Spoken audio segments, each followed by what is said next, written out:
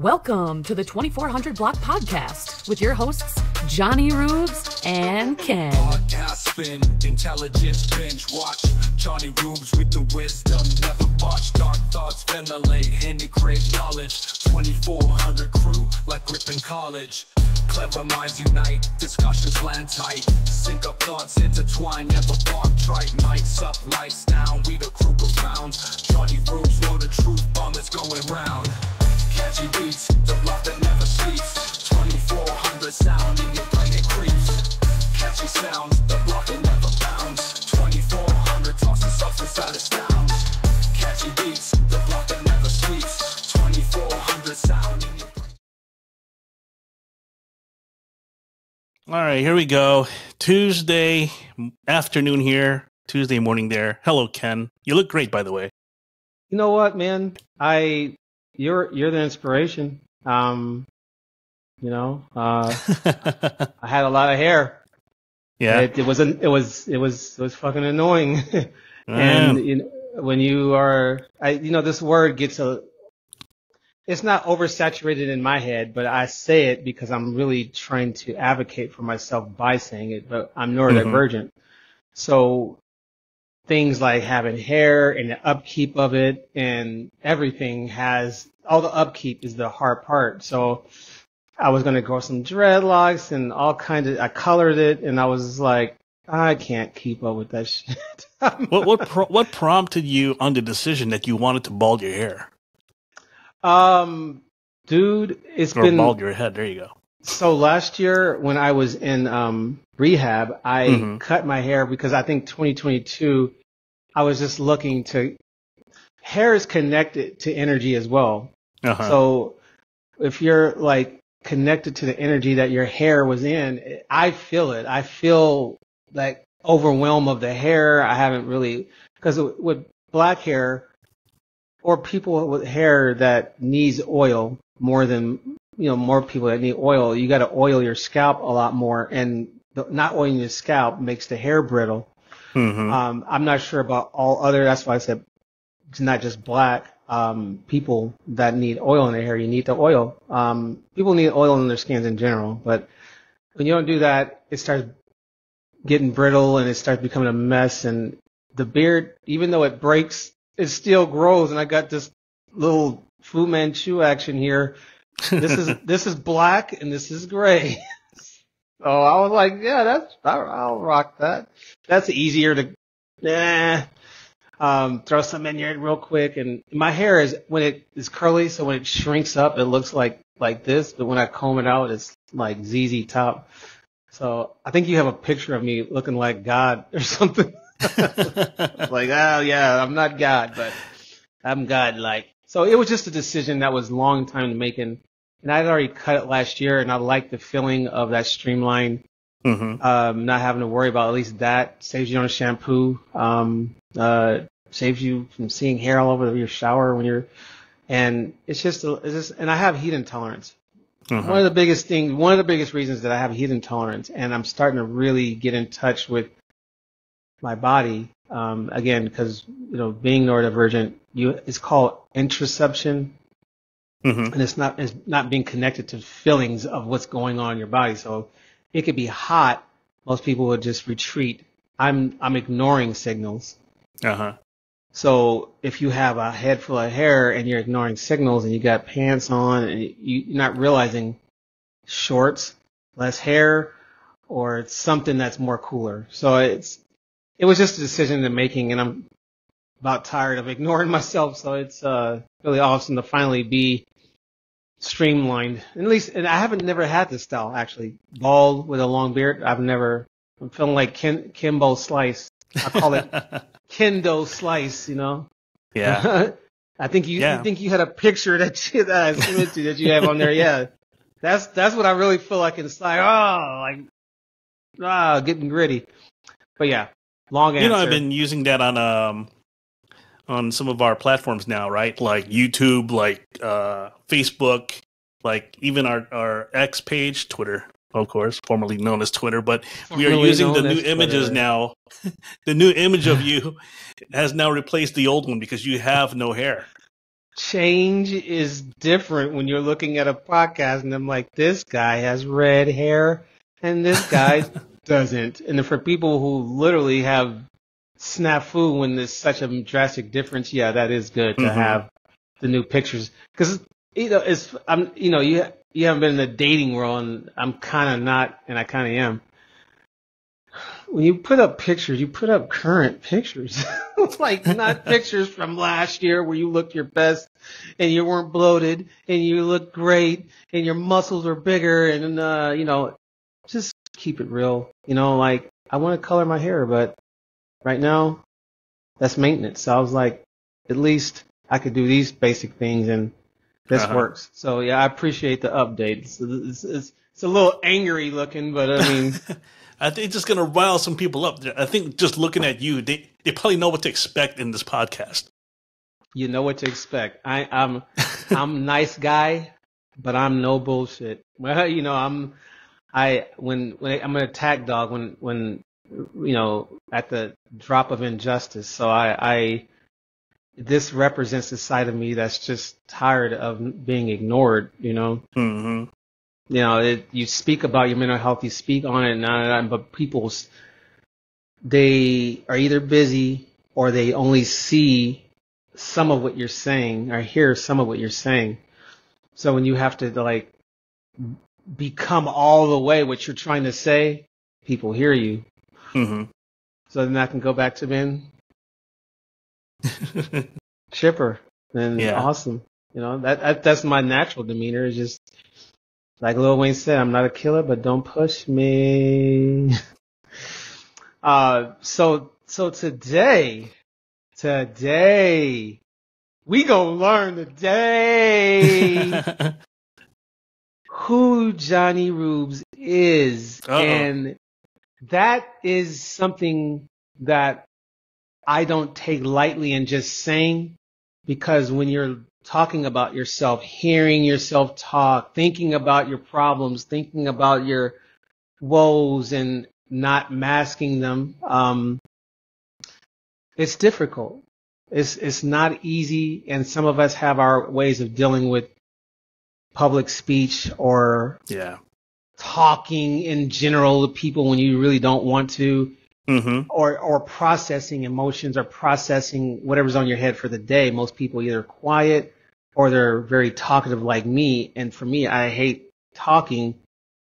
I just I have so much and I'm trying to process that I'm speaking another language to most people when it comes to the word neurodivergence and all these words that I'm saying. They fall out the ear socket when I'm talking to people. So it gets frustrating when you can't talk and you're not fully listened to, but today is a day for you to just let loose. Like, you, we've seen the characters that you put on. We've seen the Casey Kasem voice. What we're, what, what we're getting today is the man, the myth, John Eric, the man who holds the seat of the of the things that's happened in this world and comes on and give you everything you guys need when it comes to news, when it comes to topics, when it comes to bringing the people together, when it comes to the glue. This is the man who brings it together with a smile. He's humble. He's a he's a professed people pleaser like most of us empaths are, has a big heart for people. But when you have a big heart for people, you know what I'm saying? You get Yeah. eventually a little, little, little irritated to the point where you can't stop holding it back. So today we're uncovering Jonnyroobs and unveiling John Eric. Thank you. Feel feel free to run loose. Don't worry about staying on topic. Don't worry about anything, man. Just this is your space. This is your safe space. You're the curator of the 2400 block podcast. Okay? This was a block that you grew up on and you're bringing it to the people. Feel free as the curator, curator to let loose on the block. Let them have it. Uh, That's so wonderful, Ken. I wish you were my spokesperson on the daily, man. And it just, uh, oh man, just it just feels so have it. heartwarming just listening to that. It's So- because, bro, you've inspired you've inspired many people through your journey of helping. You've raised money for people so they can get their education and not have to worry about things while they're, you know, I've heard the stories, I've heard the heart, I've seen, I've, I've you've reported stories on our friends that've gone and passed, um, but that weighs on an empath. So when you talk about getting yourself, getting your cup filled, it's really not about getting your cup filled. It's about emptying the cup because you have a lot of resources. You have a lot of knowledge. I talk a lot of knowledge. It's, it's one thing to get your cup filled, but it's one thing to actually just get it really released so you can bring back stuff that keeps you at bay. So hmm yeah, man, I'll, I'll be your I'll be your hype man every day if, that, if that's what I was put on earth to do is um encourage others genuinely. And I see everything that you do. You know, we don't talk about it all the time, but I see I see you. I see what you're doing over there. I see I see the nerd in both of us. I see the joy in both of us, and I see the frustration when you can't be who you really want to be because of perspectives and upbringing. So this is you know this is your time. So with that said, ka ka ka ka, I'm done. Hello, Ken. Thank you very much for being here and talking Boom. about me. boom, boom, boom. I always bump, wanted to bring baby. that. I always wanted to Fist bring that guy baby. back. But uh, yeah, yeah, yeah, Real. it, it, it sure does feel good. all Um, day. you know, just hearing you out. See, now it already ignite, ignited a fire in me. Um, That's what yeah, I do, life has baby. been live. yeah, wire. life has been uh, great. Uh, it's been tough growing up. You know, being a you know part of the military brat family, and uh, Yeah. going from place to place. So of course, uh, you know, you make friends along the way, then you lose Mhm. them, and then you had to start over again. And that was one of the the toughest things I had to deal with when I was a when I was a kid. Uh, Mm. I was only like maybe five, six at the time, and having to carry that uh, when we moved to Virginia, and Mhm. it's it was it's just been different. I uh, it's been difficult for me um, Mhm. actually to find a niche. Um, growing up, uh, I was just mainly like just at home. I mean, we didn't really have time to, you know, hang out with other kids, but you know, Mhm. we played with them as you know when when there was the time when they were present. But other than that, you know, our family we we kept it to ourselves, uh, and it continued on. You know, this trend continued on from, you know, first grade on up until Mhm. maybe, wow, the end of high school. That that's how life was for You're me. A lot referring of people, to um, being closed in um, yes, in, in environments. Um, for, um, for, for everybody who's listening, I'm a military veteran. Um, what he's talking about is being a military, what they call brat or Mhm. child of a person who's in the military. So the difference is you're moving regardless of whether you want to or not. And if, if, if you don't mind me sharing, you weren't born here in the United States. you are right. You were born in Japan. Yep, Yokosuka. Okay. You are a Filipino. Technically, if anybody on here that's Japanese, he's technically Filipino Japanese, and that is a completely different environment to be and then move to another place. So that whole isolation is what what he's talking about here. Yeah. And See, I- I that, that's how it is, yeah. man. When I'm talking, when I'm going full steam with you, Ken, my my glasses are fogging up once again. This is the second time now in a podcast that my glasses Uncover. Are fogging. Take those fuckers off, man. Unravel. this is you. This is you, man. You- This this is your safe space. You don't have to avoid anything. Anything you're uncomfortable with, you don't have to talk about it. But what we're talking about is bringing you out so you can just, if you have to flash us, fuck it, and, and mentally, Yeah. um, yeah, yeah, we don't want to see, you know, balls and whatever. because there's kids watching. But uh, for the most part, yeah, yeah. Um, thank you for sharing uh, and opening up. So you know, there's your floor. Oh, thank you. Yeah, you know, I do get kind of nervous when I'm doing this because I'm the subject. That's or when, que- or when questions are asked about me. But yeah, I just want to just be honest with everyone that my life was pretty much, uh, you know, at home uh, for the most part. That's how I learned to be creative. Like when nobody's around, I start drawing or I start messing with the radio. I start touching the microphone. I just start messing with things. Mhm. So there's that creative side of creative side of me that's already there, and I just haven't had um, you know too much exposure on that. Uh, growing up, it was just me and my brothers. We're always you know at home. We always uh, looked at the TV because our parents are always away. You know, my dad is, out, is out a lot. You know, maybe twelve months out of the year, or even So you were a maybe six different months. type of latchkey kid. Like I was a latchkey kid too, where we we let ourselves into the house. You were a latchkey kid, military kid. So Mhm. a lot more isolation and a lot more time to self, but not a lot of social yeah. integration, I should say. hmm And that's that's how I was um, uh, growing up.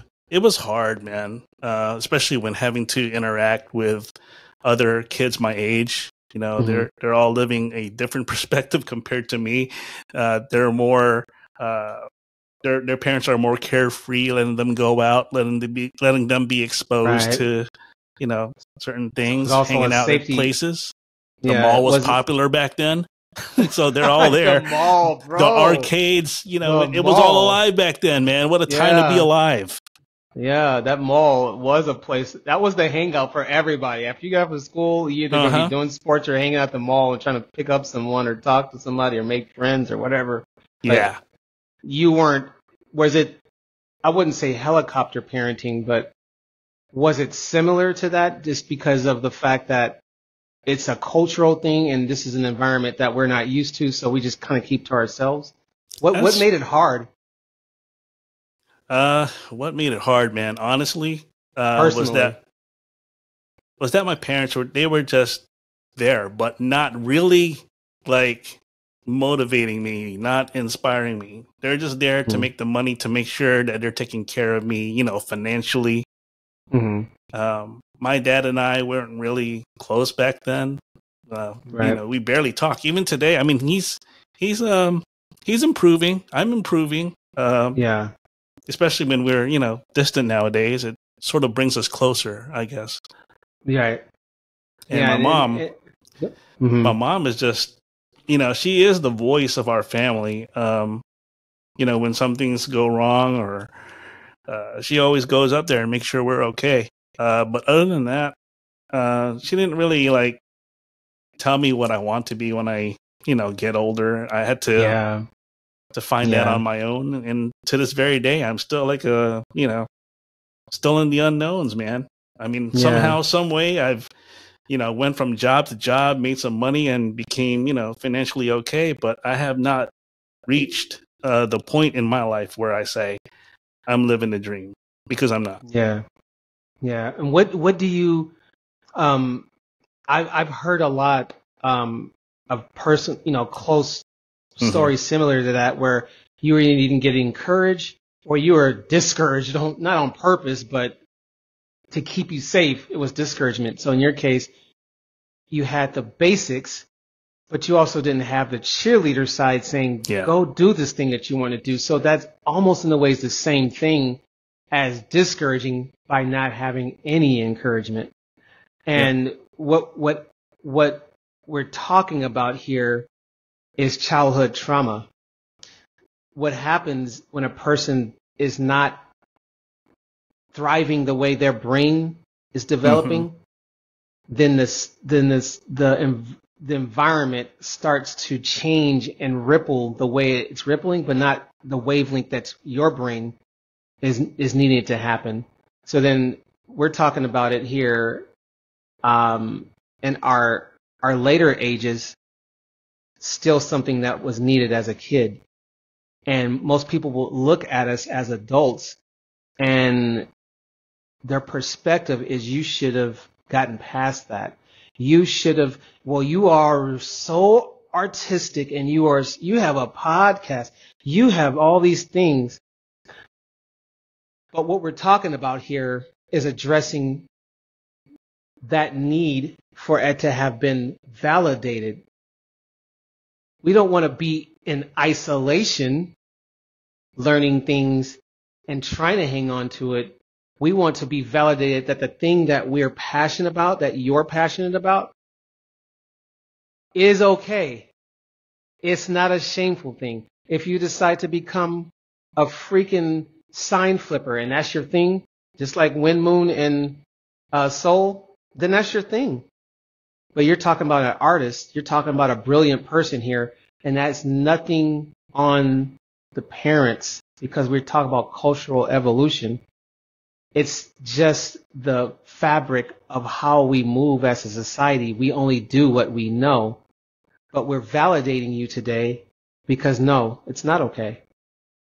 It's not okay to be put in a box that you're uncomfortable in or not even let out the box, so to speak. So, uh, I'm, you know, I'm, I'm saying it right in your face. You're validated for one, the skill and the desire to have gotten out there. Um, cause it could be an introvert thing. It could be many different things, but it is a trauma.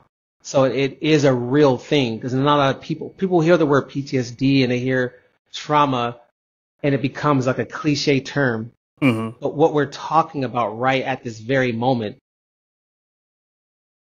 is a memory that will replicate over and over until it gets heard, until it gets addressed, until we are actually feeling that validation and support. So, um, I'm an empath and I, I've always seen it. I just can't address it because it, they're called triggers for a reason. You can start talking about something and if there's not a solution to it or Mhm. the support around it, you can fall back and not want to talk about it at all because it's embarrassing or it's, you may, you're vulnerable. But you are on a podcast, my friend, with a background, with mics, with professional headsets, with super duper people. And you're still, and this is the trauma you're dealing with as you're doing that. So kudos to you for putting yourself out here and interviewing and talking to people, even though you're holding that back. Because it's, it's hard. It's a hard, it's a hard amount of energy to hold back and it not come springing out somehow. So Yeah. yeah, just, I just want to make sure you understand that from this day forward, who you are, who you were, are all one and the same. And I'm I'm I'm your biggest supporter, and I hope that this podcast will bring all those that we've interviewed and lift you up, because you, from what I'm understanding, you just got paid officially. Congratulations for your graphic design work. Oh, thank you. So that's that's you're you're here. It's 2024, bro. You're here. You're it's it's happening. It's time to let it loose. We're uncovering Jonnyroobs to see John Eric right now.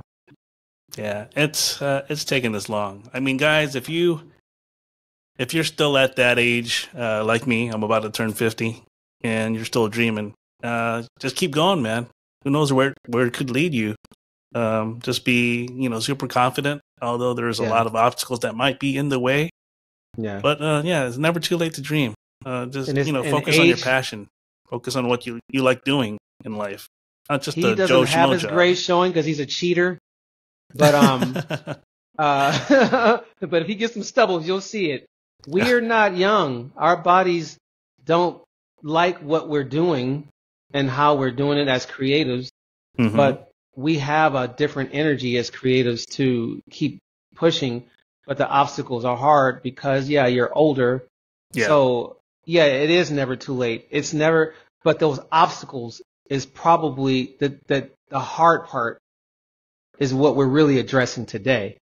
Yeah. Because we can sit up there and talk about positive mental attitudes and all that, you know, Mhm. yada yada is great. But the person sitting with it every day, the hard part, which is talking and really being honest, that's the hard part. So that's what we're doing, really doing today is getting airing that out. It's not going to happen on one podcast, but you've already been doing the legwork.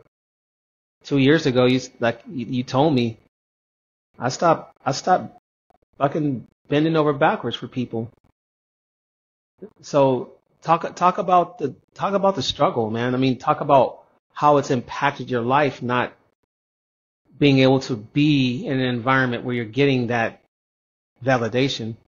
See, being stuck at home, uh, that that's where it really started, man. I mean, I really didn't had uh, that much people to speak besides my brothers, of course, mm-hmm. and for some reason, it just made me uh, socially awkward. Even to this very day, there are some times I still feel socially awkward, but I have advanced a little bit more as a person. But back then, it was really hard to just you know socialize with classmates who were in you know in, in their you know own world, looking at all the uh, you know, trends happening around them. And here I am, clueless, not really knowing much what's going on, except watching, you know, the cartoons uh, during the afternoons or cartoons in the, you know, in the mornings. Or yeah. maybe watching A Team, you know, primetime TV back then.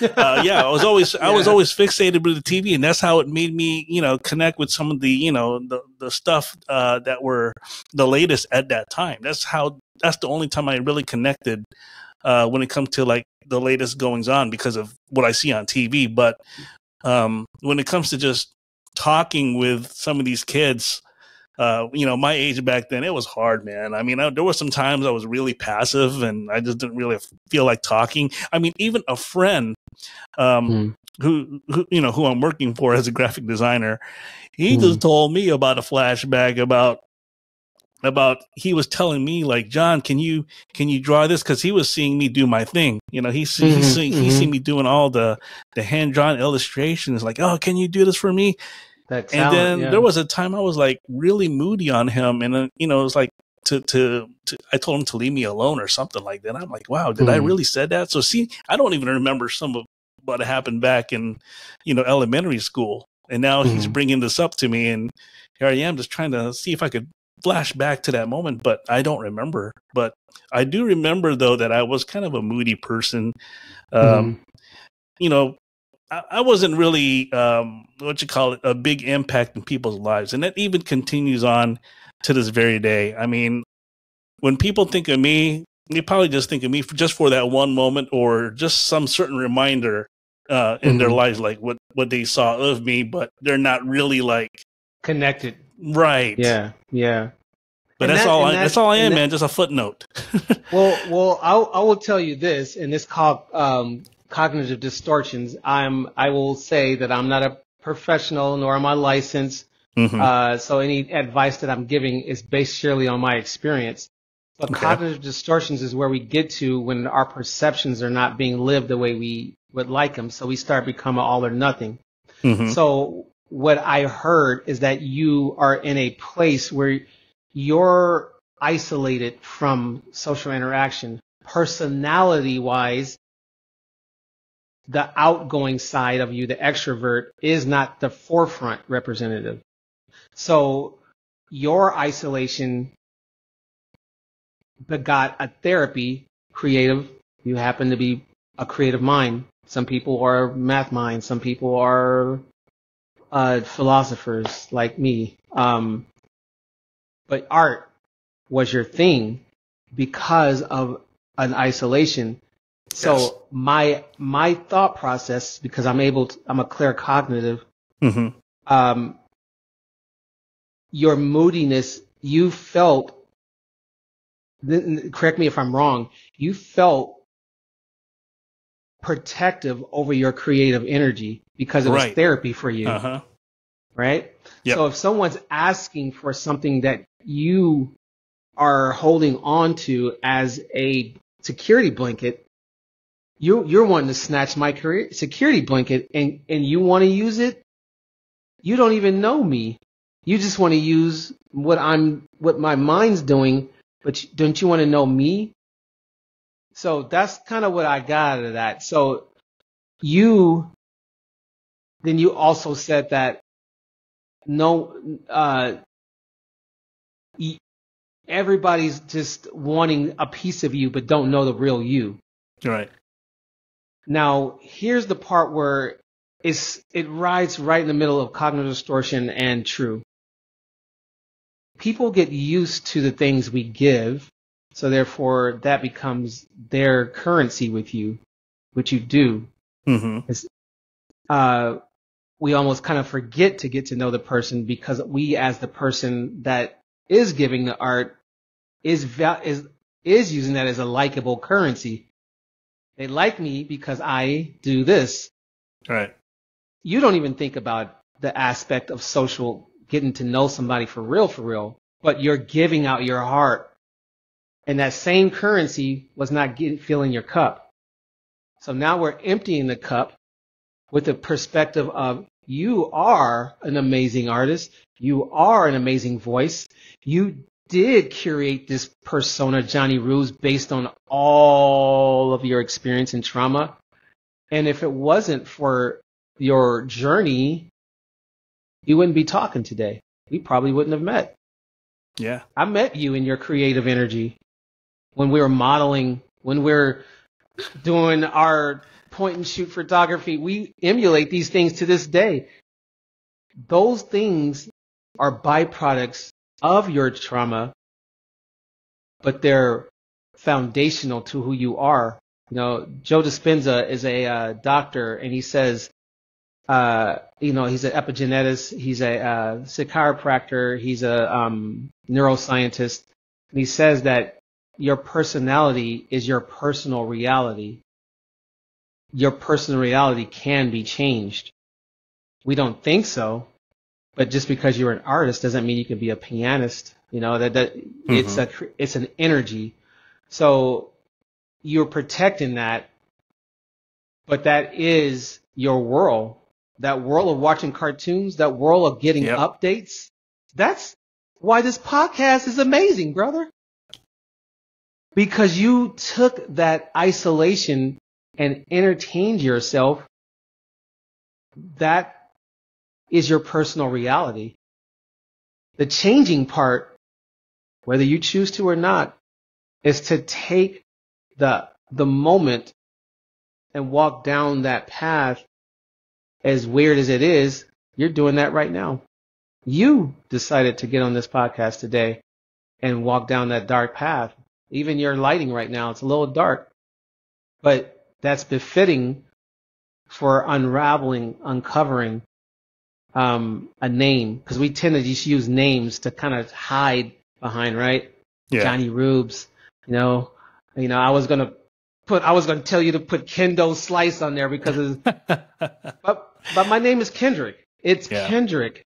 I've called myself Ken because of it made it easier for people, but you know, today is a day to take that step, you know, and and I right now, I'll, I'll, be honest with you. This is this is a perfectly honest unraveling myself because I'm re- right now. Uh, I'm masking. I'm not going to get into that topic, but we know what masking is in general. Unmasking is the opposite. When I talk, there is a level of nerves that are in my my core mm-hmm. that I'm sitting on top of, and I've used knowledge, I've used intellect, to keep me, I use my extrovert first. I'm getting to know my introvert now. So the only reason why I'm able to have this conversation the way I'm having as if I sat there and practiced this is because I've mastered a mask. I've mastered Ken, the one that everybody wanted to be easy. It's easy. It's easy. Ken's easy going. But Kendrick is like, but you don't know me. I'm at this place in my life where I'm trying to reach out and I need what I'm giving out. You know what I mean? Yeah. Same as you. You're looking for that reciprocation of energy and it's not coming back the same because we teach people how to treat us, not on purpose, based on what we know. So the hard parts, what, what, what makes it hard today not finding yourself earlier on in those in those time frames of darkness. See, I wish I, I, I learned more about how how I was socially back then, you know, or someone could at least, you know, hang out with me, even for just, you know, a few hours in a day, man. I mean, that would definitely be a huge improvement. But man, I I mastered this pretty much all on my own, but it's at the slowest pace. And I mean, even Yeah. my social interactions, whether it's just hanging out with the fellas or even talking with the, you know, the hottest chicks back in the day, eh, it was kind of awkward, man. I mean, because Yeah. you know, I just was not introduced to that kind of world, man. And I still think of myself like I'm still here at home. You know, I have Yeah. not left. You know, my mind has not left, even though I have had the You freedom. right on the money. Yeah. Yeah. You even though right if I the had money. the freedom, um, you know, later on after high school and then going to college, it still felt awkward, man. And Mhm. then, you know, there are some, you know, situations. I'm not going to like discuss it openly, but of course, we all have our own battles. And sometimes you learn, you know, the consequences of something. And, you know, back then, uh, I won't learn a pen- painful lesson until it happened or until after it happened, really. Right. So, That's the heart. uh, the heart. yeah. Yeah. So I definitely had to school myself, you know, in in in, a, in that in that way, uh, so I can learn. I mean, even now, uh, I mean, I even learned how it was, man. Like what it felt like being scammed. You know, I had to learn that on my own. Yeah. I, you know, faced the consequence of that, Mhm. and uh, yeah, it's just something that I've learned, and hopefully never will face it again. And this was on my own doing, and you know, I fell for it, and I just Yeah. move on after that. I know And that's a that's a vulnerable thing to to Yeah. share because a lot of people don't want to share that level of vulnerability. Like um, the naivety of it of it all Mhm. is you're going in thought thinking you've calculated what a scam looks like, and these Yeah. scammers are finding new ways to get into the personal headspace to get you, and so that's not your fault. so thank you for being honest about that because a lot of people would just be like, "Yo, dog, I, that's embarrassing. I lost."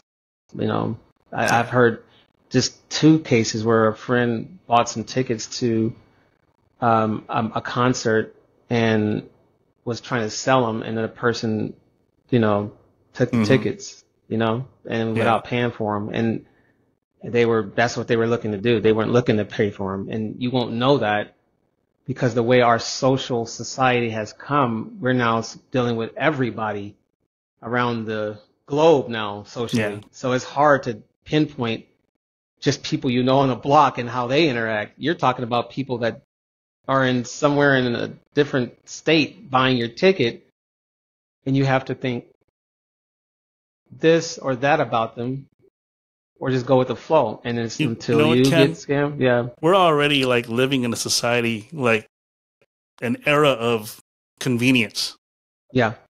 and I think Yeah. that's what you know. That's why people you know fall to these things because they they want things yeah. right then and there, instant. right then and there. Yeah, you're right. Yeah. And, and and if if we keep heading down the path of everything being convenient, you can take an exercise pill. Really? Okay.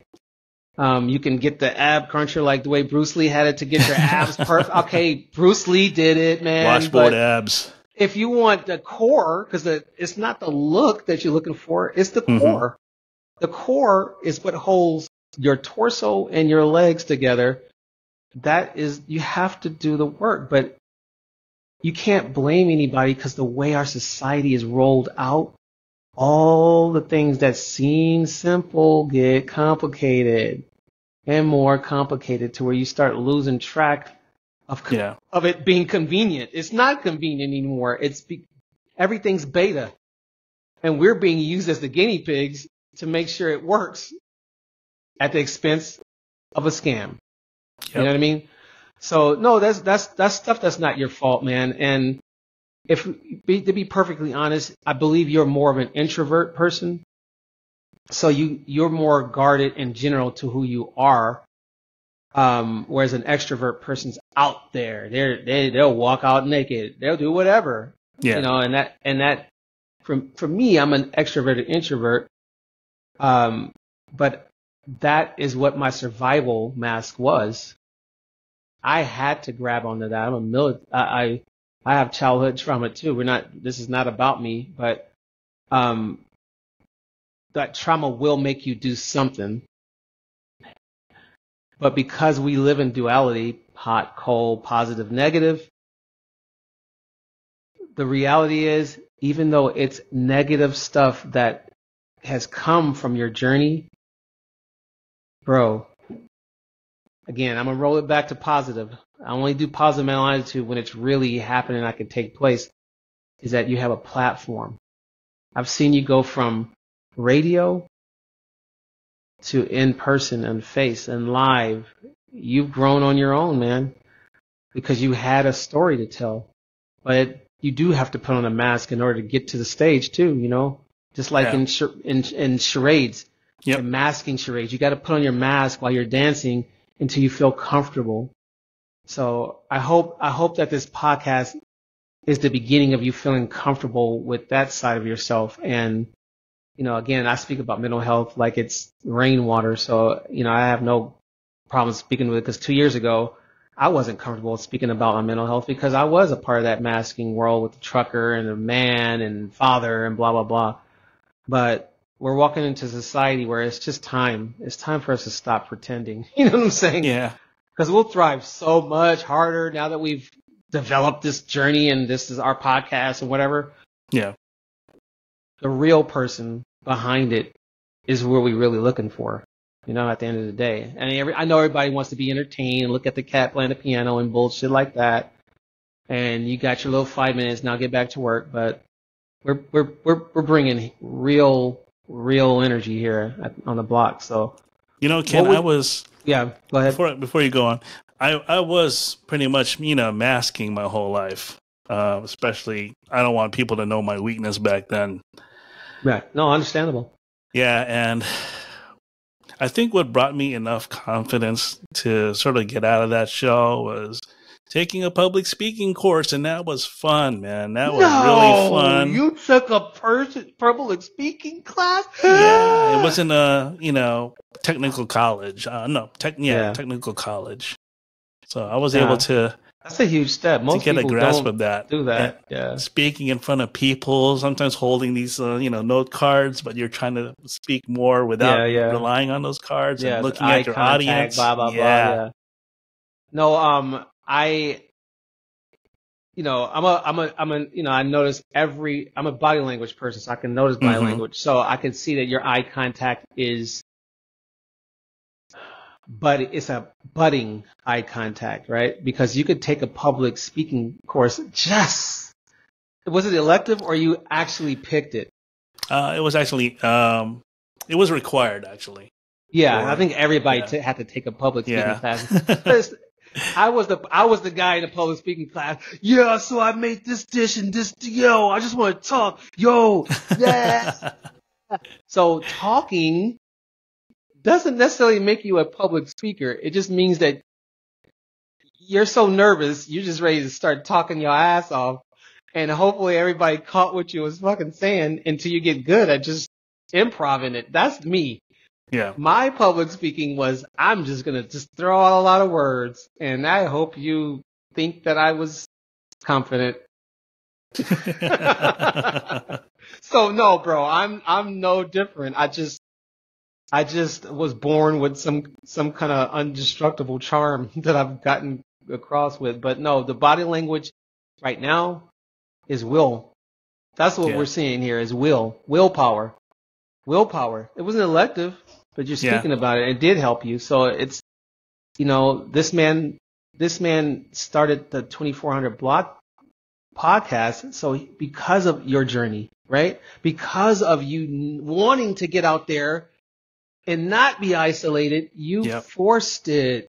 You forced it by you, you, I don't even know how to say this. You, you, you covertly got me to be a wingman. I'll be honest with you. I was like, oh shit, man. Okay, I don't have a script for this one. I'm about, I'm Uh. about to actually go into that thing about how how you um, you know made an impact in my life. I'll, I'm about to tell that in a moment, but I'm glad to you you know present day. I'm, I'm trying to make this more about you, bro. I know. But You've interviewed so- me 20 million times. But there's that connection, man. There is that connection. No, you know, I, I understand. um, what start off in '98 or '99, one of those years that we uh, got together. Back in the days when I was young, I'm not a kid anymore. but some days I sit and wish I was a kid again. you were, you were one of the few that that knew me, that I had unmasked myself to. We were going through, Oh, really? you know, the struggles, you know, especially when we were in that church. And the struggles over there, the religious struggle. Yeah. So I, I really had I didn't really had that much people to turn to because I don't know if I if I trusted them or not. Mm, But- trust. You know, That was the that was that's a that's a click word. That is Yeah. the foundation for being able to open up is trust. Yeah. and, and since you've given me a great impression of yourself, I'm, I know Mhm. that was masked of yourself back then. I didn't realize that. And more and we're 2023 and 2024. I'm I'm no actually more 2024. I'm understanding the majority of it was I'll say 80% of it was a mask. The rest of it was me putting it on. Mhm. Because I was like, yeah, if I don't do this, I won't get a job. If I don't do this, I will be a failure. If I don't do this, I, I, it, it became my identity, but it's not who I am. You know what I Mhm. mean? And most people think, oh, he's an outgoing person. I am, but I, I had to be happy and not show depression because it was draining my, my spouse's energy. Mhm. I can't help apathy. I can't help depression. And you can't help that feeling of wanting to reach out, but maybe not have the right confidence, the right swag. And most people will lend that out to the nerds. Um, I didn't even know I was a nerd because I was busy being the, what's the, you know how you watch, you know, coming, coming of age movies where you got the high schoolers that are the populars, you got the ones that was neutral that knew everybody, then you got the, the emo kids and then the nerds and then the complete geeks. outcasts, yeah, the misfits. yeah. I was all of them. I just stayed in the neutral where I knew everybody and I was able to chameleon myself Mm. and be like I talked to guys that are football players from high school. I was like, this guy. I to this day I'm like, this guy. He's like talking to me like, like you were the football guy. Why are you talking to me? Like, we didn't talk back then, but he's now talking to me. He's a father. You know, we label each other because that's what we think the clicks were about. That's how we fit in. But I, I, I was socially awkward. So that's why I used the mask because I was just like, I don't want this, you know. this is weird, and I that's you know this is also uncovering for me. But what uh like today, how does it affect you in in your everyday interaction Being a you know a podcaster, a, a you know a, a boyfriend, um, uncle, son. You know that the new the new dynamics of you being where you're at now. Oh, hold on. Oh shit! I think my, my my stomach just growled. Hopefully the the mic did not capture that. I don't know if you even heard that. I my didn't. sto- my stomach is growling, and I If you haven't have- eaten. If your mic's that good, I'd be like, I want that mic, man. I got noise canceling in this bad boy. I have dishwasher going on. You can't hear that. I don't think you can. oh man, uh, you know, I gotta tell you something before I answer that question. Yeah, go Um, ahead, man. a guy landed me into like a a gig of being an MC. So I was working for this DJ entertainment service. I think a few years prior to meeting you, and um, okay. yeah, that actually instilled a lot of confidence in me because uh, for the first time in my life, here I was holding a mic. Here I was attending a wedding, attending a, a rave. oh, Um, rave at that, not just yeah, a regular DJ situation. yeah, and I got you know the DJ team behind me, but they you know I'm the guy like this uh, hosting the program, uh, Mm. putting everything in sequence, and Yeah. man, uh, that actually took you know most of my shyness away. At first, it Yeah. felt kind of weird, you know, like this light right here is is on me right now, and holding that mic, you know, being stage frightened and all. Oh man, it just took like one uh, deep breath, and I just went all out. I was just like all natural after that. Oh, lose yourself in the moment. You want it. You want it. You better never let it go. That's that moment where you just Yeah. threw yourself out there and puked like fucking Eminem in, and the eight mile. And hey, you gonna either crawl back and back, you know, shit. That's a, that's huge, man. A rave. That's not a regular party. Everybody's wild in a rave, man. So yeah, and you even gotta have some energy going for them to be like, yo, dog, this dude don't even know what he's doing. Yeah, even years before that, I even no, actually around the same time frame, I'm even like calling into the radio station. You know, sometimes Mm-hmm. giving my you know my wackiness or or just trying to you know just be on the radio so I can just like hear myself. You know, I even did that. I inner actually. Casey Kasem. By the way, I went to the station Z104 in uh, Virginia Beach, and uh, my friend actually wanted to, you know, taste a muskrat, an actual muskrat as a food. So he tasted muskrat, and you know, we got out there, and we're on the radio, and that was pretty cool. We were live, and then the DJ said to us, "You guys are it's supposed to be in school, huh?" I'm like, "Yeah." But this is fun. School's yeah, we not just decided fun. just to hang out and just do this. And yeah, we, we could have been in trouble, but you know, we weren't. We somehow that- hid it. Now, now everyone knows, but back then, you know, we just probably gave like a little bit of a note saying, "Oh, we didn't went to school on this day because of this." Well, um, to my grandfather, thank you very much for covering me. Thank you, Grandpapa. Yeah, And So- Spanish, abuelito. uh, I I don't know what it is in Tagalog, but I'm gonna have to find that out because I, I do not know that much Tagalog at all. I, I don't even I was think gonna I'm ask you that. nowhere I was near like, that level. You're a super Filipino. You're like, yo, dog, malamig. Um, uh, what does that mean? Cold. It's cold, bro. Yeah. It's cold. Yeah, malamig. Shit, I don't even know if I said that right. malamig. Because sometimes they say, "Oh, he sounds a little bit too country for Filipino." yeah, V's or P's, uh, uh, pancit, eh, like there's a, there's, the P carries over in a lot of words in, in the, you know, Filipino culture. Shout out, the, the Filipino culture embraced me a lot when I was, cause my, my fiance, uh, well, my high school sweetheart became a fiance when I was in the Navy, was Filipino, but, um, yeah, you're Filipino. I'm a lot of things. I'm black, Irish, freaking all kinds of different things, but. Cherokee Indian, who knows? Cherokee Indian, yeah, who knows, man. Yeah. But I'm Kendrick at the end of the day. Like, you know, it says on there African American. No, I'm I'm Kendrick. I don't know. I've never been to Africa in my life. uh, descended from there, I think everybody does. You know, like. But yeah, you, You know, too bad. Pe- too um, bad people can't really see that though. You look, look at what's happening around us, man. They're just Mhm. these are all our attributes. What's con- what comprises of us, but people just keep you know wasting their time on that. You know, when you say you're Kendrick, you are Kendrick, dude.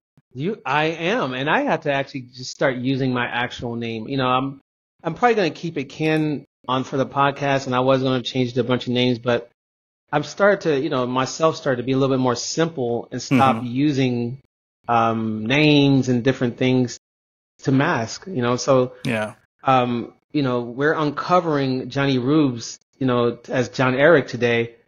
Um, and this is not going to be the first, I can tell, because there, we're just getting to the point where we're talking about a world where you're not validated, but you're not necessarily discouraged.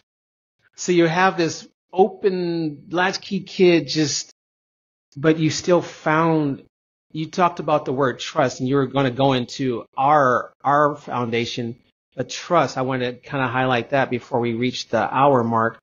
Trust. You trusted yourself. You couldn't trust a parent to give you what you need but you trusted yourself enough to, to have a, eat a muskrat on radio or do those things and i that's what what i'm getting to is your bravery to want what you wanted so bad to find your identity inspired me. I was the same thing. I, I, to this day, I, all my life revolved around being a parent and a dude who goes to work and that's it. Your world pushed you to get out there and talk to people. I rely on you to find the guests because if I do it, then that means I have to follow up and remember and all these things. So it's a vulnerability for me. You have the knack to be able to reach and connect people together. And that's a huge attribute as a result of your trauma. Um, so that's why I said this is going to be an ongoing thing because it's an uncovering. And if it's a huge, um, it's an iceberg, right? At the top, at the Mhm. bottom, it's, it's just, it's massive. We can't uncover that in one, uh, show. So we're just chipping, chipping off at this, um, which will create a stronger foundation for the 2400 Block podcast because we're talking about a safe space and a place you can kick back and be yourself.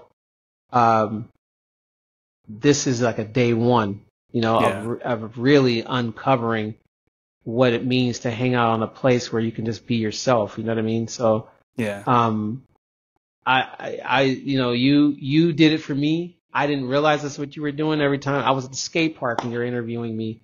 Um, I, I didn't realize that you were doing, you gave me a platform to, to just tell my story. And I did say back then, who the fuck is Kendrick Jackson? Because that's literally what we're doing right now. Who is the person with that name? Like, what is, what is their world? What do they do? Everybody has a story.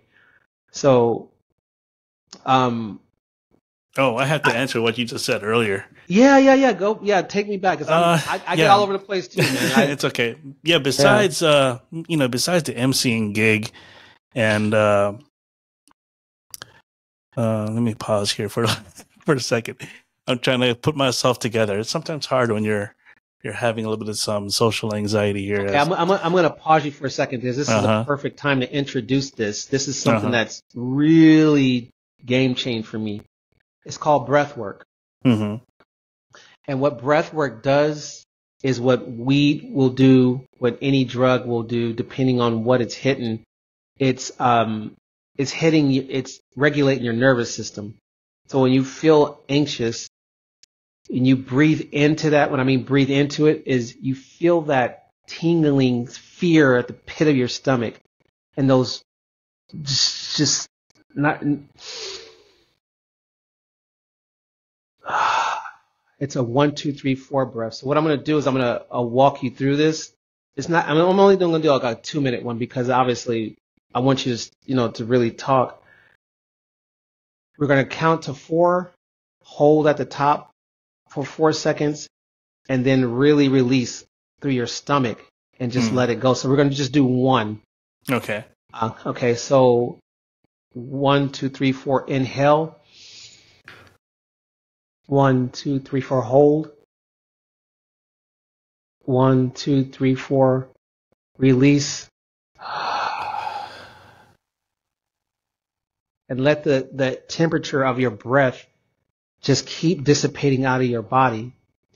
What that does, energy is real, right? Mhm. When it gets into your system and you feel this weird feeling, it comes into your body and starts becoming physical sensations. What that does is release that almost become permanent physical sensations right back out. So how did that feel? Um, just that one little breath to be able to kind of prepare you for what, you know, you're going to say. It felt really good. It felt like it was. I had so much weight, but once I exhaled, it feels like all that weight is gone. That's what Right. it feels to me, anyways. So, so what I would like to do in our in our future podcasts is start our podcast with breath work and then eventually lead to meditation. But breath work is life. How you are even able to talk and think is through breath, and those breaths are regulating breaths. So when you when your energy is up tempo, it just brings it back down to center, so you can be able to respond and react a lot more calmer versus either shying away or. But, but go ahead with what you're saying. I just wanted to bring you. Before I go Yeah. on with that, I think this would be great for every guest. I think you, we should get every guest involved to, you know, breathe in and I wanted Breathe to out. say something. I was really just kind of getting myself to where I'm finding a mastery level of it mm-hmm. because I can't really talk about it if I'm not living it. You know, Okay. honestly, especially as an artist, I, I, I, I mask. I don't. I'm not masking that. It really does regulate my nervous system, and a lot of people t- take this pill and that pill and this pill, breath work is the pill because it's your body doing it. Your, it, it redistributes blood, wash, washes and just re, re, uh, re, it resets the system. Over time, it becomes Mhm. automatic. So you actually do that breath and boom, now you're good. So yeah, Oh, yeah. we definitely we definitely should do it before podcast. But I wanted you to finish your your last Yeah. uh, your statement. Yeah, I mean, uh, like I said, the MC gig, and then I paused for a moment. And when I put in the public speaking, it did bring about a lot of confidence in me to uh, to talk to people in public, to talk to uh, just people in general. They don't even have to be my friends. Just talking to people, being friendly, uh, just just trying to be a you know a, a- an overall friendly guy. And that This is carried through on the with me. through the um through the public speaking you're, you're Yeah. referring to. Okay.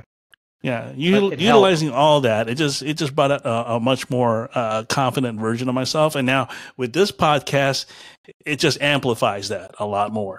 Uh, Yeah. it gives me a chance to you know talk to people. It all started in, um, you know, during COVID, a time where Mhm. everything slowed down, and you know our social interactions ended for a while. But then there came Mhm. the, the camera. There came there came this. This gives A chance for- for yeah. me chance for me to open you know Yeah. to, to to the world while It you know we were of pretty much isolated yeah Yeah, it takes a lot of courage to, in a ways, you self therapied yourself. I know that's not a term, but I, that's what I came up with at the second.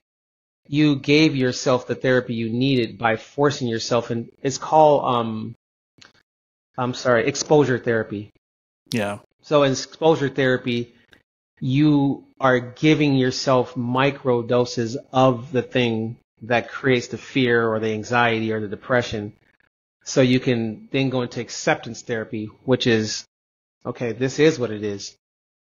So, but I can breathe. I can do this.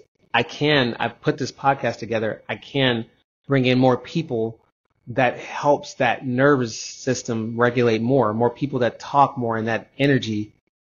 Then you can start branching back out and going, okay, I've got that solidified in me. So you doing the podcast, you doing the public speaking, you sitting in that room back when you were five and six and going through that torture of not being able to be out in the world like that is what curated this. So now it's time to heal that five year old and speak to that person, um, and tell them it's okay.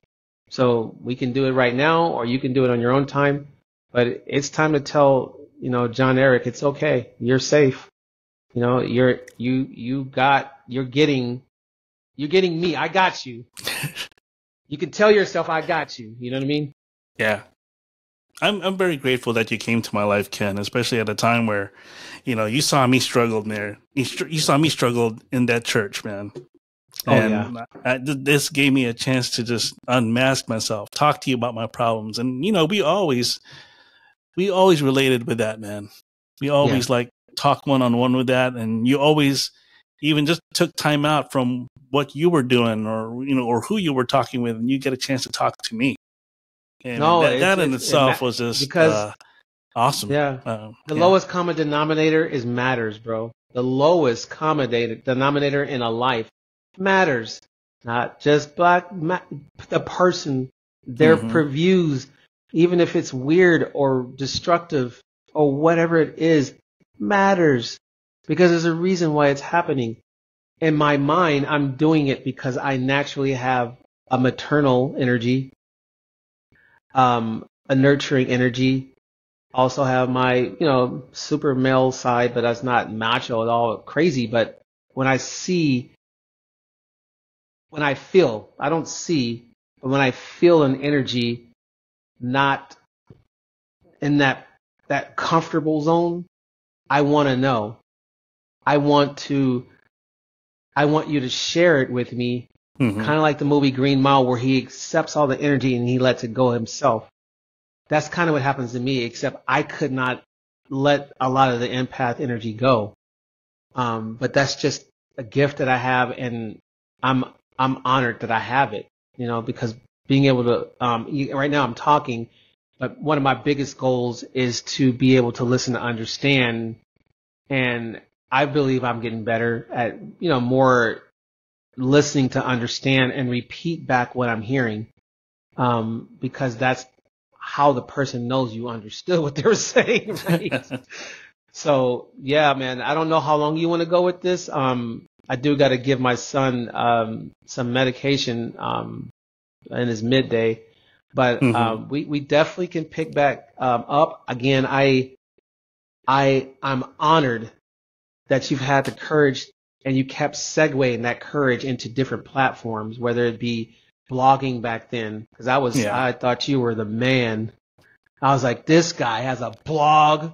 Then when you said you had a podcast, I was like, this guy has a podcast. Oh my god, I would need your autograph, Casey. John By the way, Eric. Ken, speaking of blogs, it Yeah. was I, I believe it was 2018 the last time I blogged. So I actually went back into my blogs and started blogging again. awesome. Yeah. Going back old school with Mhm. with that Terminator. You should bring that Terminator. oh my uh, gosh. Oh, you had Terminator to go. back, you had bro. to go there. I did. That was one of Ah. the graphic design phenomenons. That was like, oh my god, this guy took the Terminator and his face, and he. How do you do that? Then, what that what that inspiration does, I started doing it in Paint. Then I started Uh-huh. in 2013. I went to school for digital media, and then I learned Adobe Acrobat.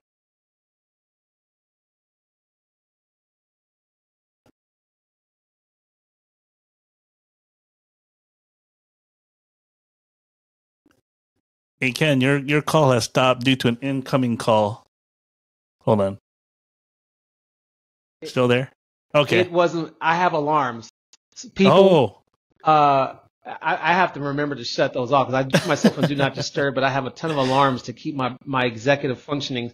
And for what people don't understand what executive functioning is, because I said so much, it is the brain, it is the part of your brain that is on time for a podcast, that plans some stuff, that, uh, wants to do the motivating center of your brain. So alarms help me stay on track.